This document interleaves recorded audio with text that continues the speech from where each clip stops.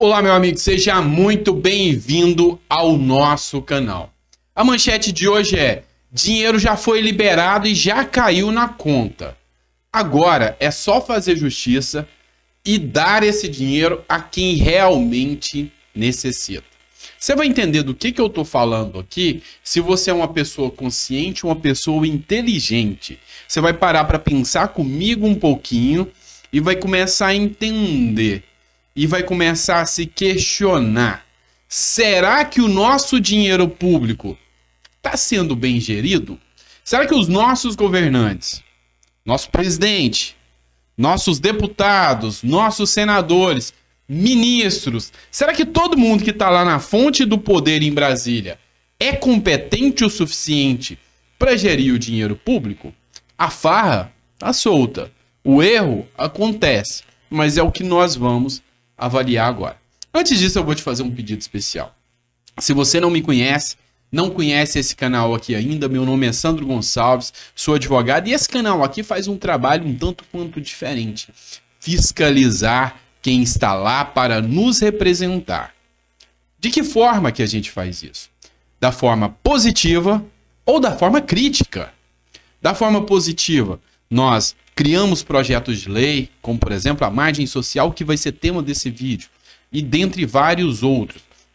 Nós vamos em Brasília, sempre que dá, tratamos sobre as pautas públicas em prol do aposentado, pensionista, idoso, pessoa com deficiência.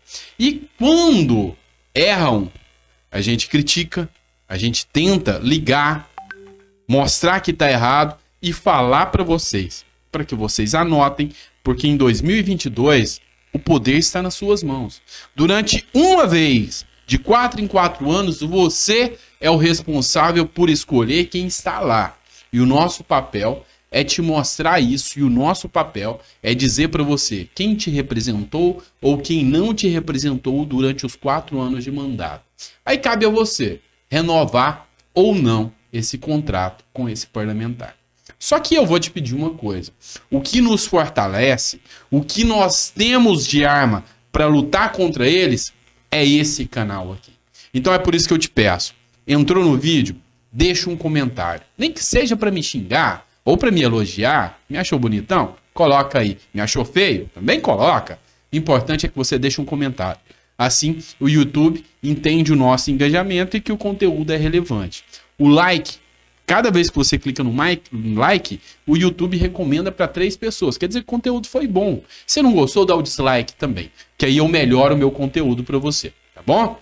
Então, sem maiores delongas, nós vamos entender do que, que se trata e do que, que eu estou falando. Vamos entender por partes. Primeiro, pessoal, a gente entende que nesse momento de crise porque nós estamos passando por uma crise, uma guerra, uma guerra contra um vírus. Nesse momento onde a crise financeira se instalou, empresas fechando, tudo caro, inflação batendo o teto, muito acima disso aí que dizem para você de 7%, tá muito além. Nesse momento, a ajuda do governo é imprescindível. Só para você entender um pouquinho, tem um, um pensador chamado Keynes. E esse pensador diz o seguinte: o Estado, sempre que a coisa empeteca, é ele que tem que ajudar a economia privada. Então, para os liberais, questiona-se sempre que, ah, nós precisamos de menos Estado. Mas hora que a coisa fica feia, todo mundo recorre ao Estado. Entenderam? E foi o que aconteceu com o auxílio emergencial. Na hora que a coisa ficou feia, quem teve que socorrer o povo foi o Estado. Você viu alguém da iniciativa privada correndo para ajudar o povo? Não, não viu e nunca vai ver na sua vida. Só que o Estado ele tem que ser competente para controlar o que ele faz. Então, o auxílio emergencial é dinheiro público. Na verdade, é dinheiro do povo. Não existe dinheiro do governo, existe dinheiro do pagador de impostos. Nós pagamos os impostos para que o governo possa gerir isso aí para gente. Na verdade, o que, que o governo fez? Infelizmente, pagou para quem não devia. O auxílio emergencial foi pago a 7,3 milhões de pessoas de forma indevida, tá? E essas pessoas, só para você ter noção, receberam juntas 54 bilhões de reais. Foi o que apurou o Tribunal de Contas da União, o TCU. Então eu quero que você entenda. Dizem que o governo não tem dinheiro. E eu te respondo: tem, só foi incompetente. Ele pegou 54 bilhões do nosso dinheiro, deu para traficante, deu para político, deu para grandes empresários, deu para quem não precisava. Então, a minha resposta é: o dinheiro já foi pago, já foi depositado, só que para as pessoas indevidas. E o governo tomou uma decisão. Qual é a decisão? Vamos resgatar esse dinheiro. Só que, como eu disse, serão resgatados em dobro. Em dobro.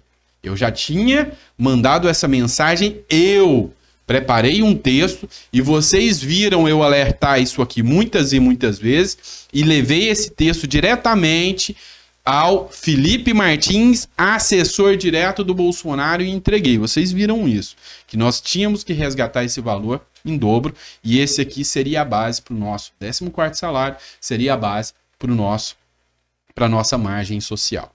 Então é aqui que entra políticas públicas decentes.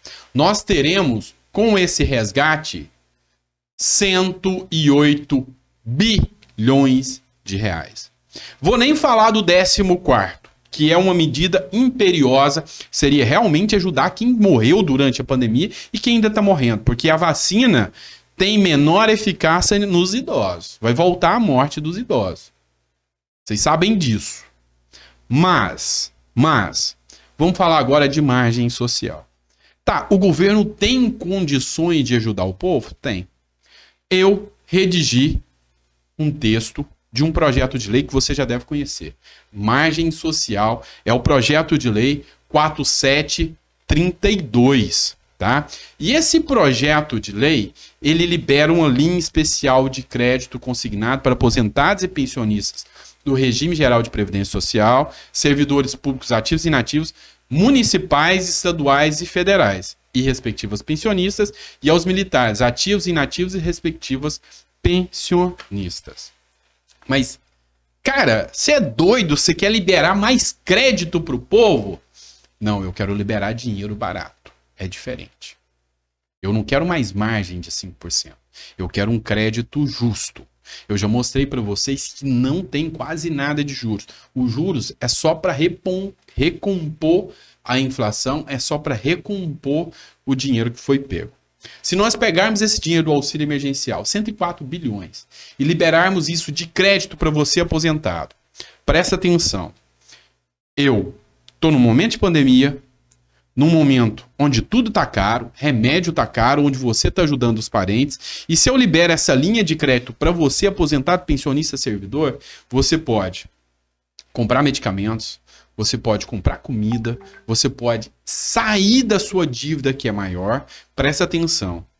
Para você pegar a margem de 5%, você pegar juro num banco aí que vai te explorar, qualquer banco, que todos os bancos exploram, para você pegar os juros aí nesses bancos, se você recebe um salário mínimo com uma parcela de 55 reais, meu amigo, você vai pagar muito dinheiro. Você vai pegar e vai pagar aí mais de mil reais de juros, tá? Você vai pegar mais ou menos dois mil e novecentos reais e vai pagar muito de juros. Se você pegar a margem social, você vai pegar quatro mil e novecentos reais, ou seja, dois mil a mais, muito melhor para você. Então, sem a função do Estado, isso quem está dizendo sou eu não, é Keynes, John Maynard Keynes, um dos maiores pensadores do, da economia mundial.